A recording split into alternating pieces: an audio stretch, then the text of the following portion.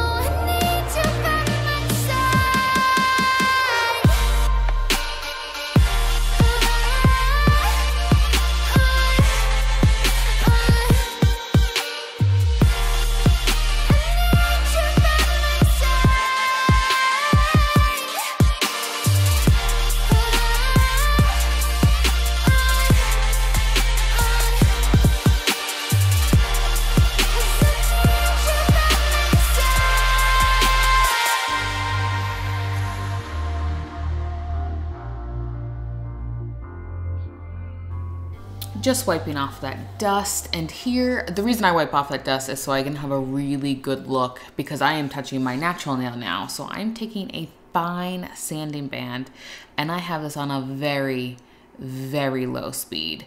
And I am taking off whatever cuticle is left and creating some friction on the nail not like really rough spots, but trying to keep it so the gel can stick and it kind of blends the enhancement that's currently on my nail into my natural nail. So there's not going to be like a lift, like because if you know the cone bit, I kind of wasn't 100% towards the back, but wasn't also not towards the back. But this really creates a flat surface for the new gel to enhance.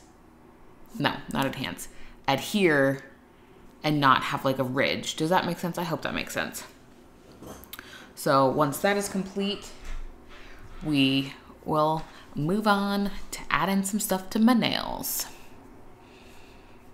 So I am taking Vitaprime and just on the new growth quickly, just doing a little swipe there. You can see I just quickly did that, didn't really rub it in because it spreads.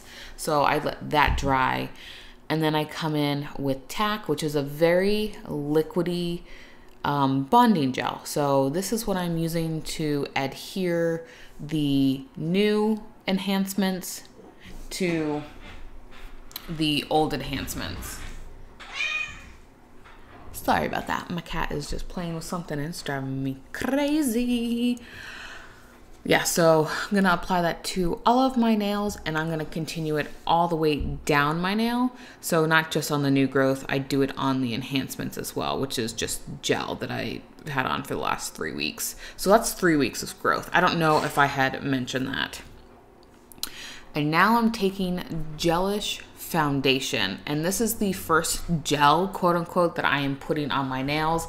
Tack is technically like a really thin gel but I like to do a gelish foundation or a base coat that's clear and then I come in with clear again but this time I actually don't come in with clear. I just come in with that really light pink because it's a pretty neutral background as well.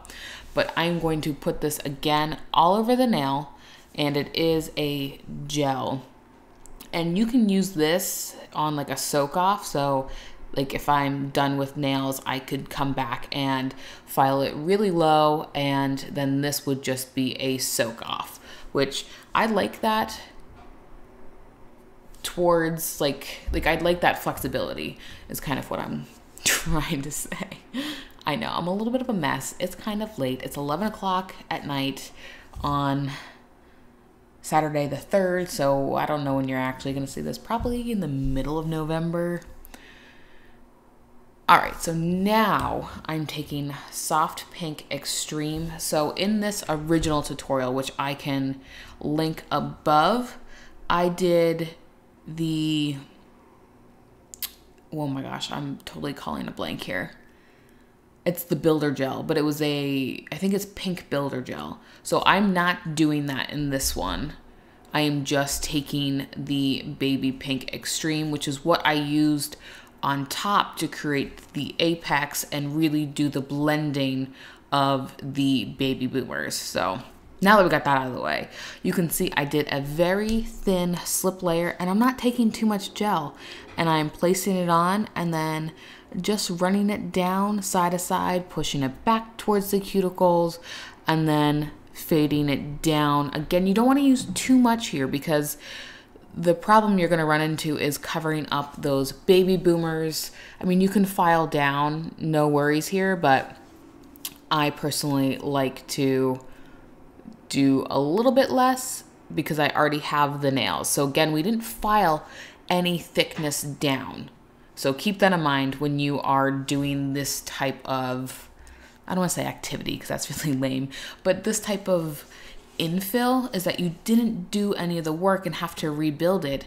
I think this took me 40 minutes, including me filming it, which I think is uh, pretty good and pretty quick. So, you know, I may do this again because I think it'd be fun to do.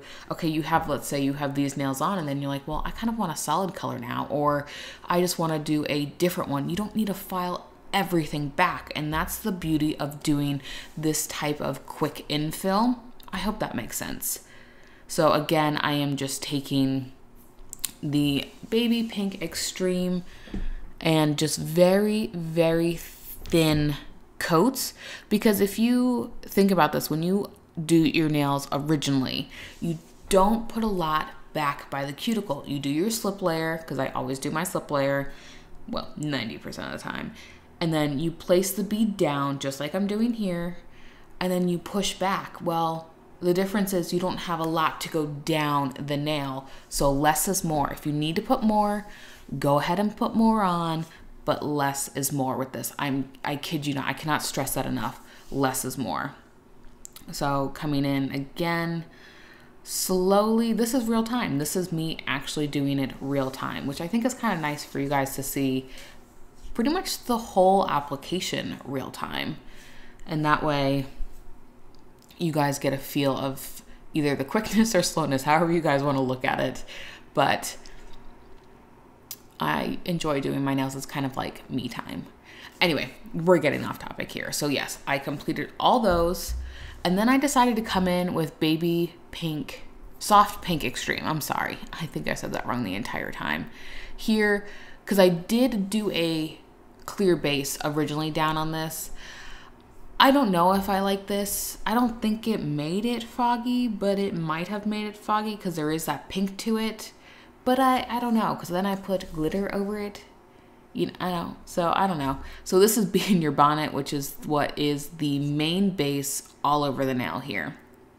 And you can see I'm not pushing it 100% up into those cuticles because you don't want the gel to touch your cuticle. So you want to leave one to two millimeters. And if you know how tiny that is, I mean, you can see how tiny that is. That is not a lot of room. And especially since I have like puffy fingers, I don't know if that's like a word, but the back towards the cuticle area, like my nails kind of puff over like it's not like straight down. I don't know if that's gonna make sense. Anyway, so this is Grace Kelly, which is what I put all over the nail after I did Be In Your Bonnet. So I am taking one step here. I have cured everything. Everything is up to date. And the reason I'm taking one step is I'm doing it all over every single nail. It's very thin layer. Is so I can very lightly file, like very lightly file and not lose any, let's say, depth to the nail. Like I just want to file and like get a smooth top. Does that make sense? So by adding this clear layer, this is optional. You don't have to because the baby pink, soft pink extreme, I think I said it baby pink. The soft pink extreme does not need to be embedded. So you can file right with that. And to be honest, I could have just I think one step is just kind of or cool gel, any type of clear gel for me is a habit. so I tend to do it every single time, even if I have like a big enough apex. I don't know. It's just I think it's all mental. So here I wiped off the nails and I'm filing, filing, filing. This is at 800% and I pushed back the cuticles and I go out of frame, in frame, you know, I'll let you watch it.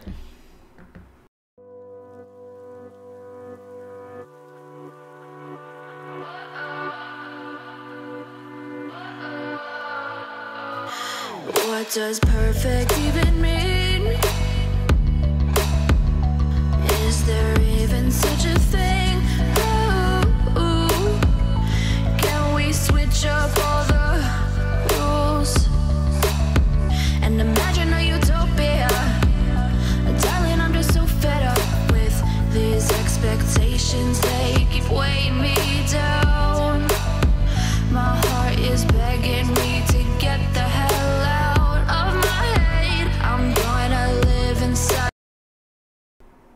All right, now that the stamping is done, we're here with the top coat.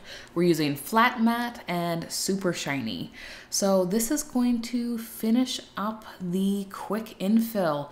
I hope you guys found this helpful and hopefully I explained it enough or well enough because sometimes I feel like I can't get my point across, but by me showing the video, I think I kind of get it across. Sometimes I just stumble here.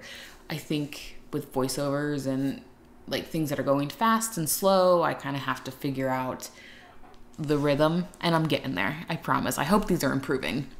And I hope this was very helpful for you guys. So thank you guys so much for watching. Go ahead and give this video a thumbs up and subscribe and I will catch you in the next one. Bye-bye.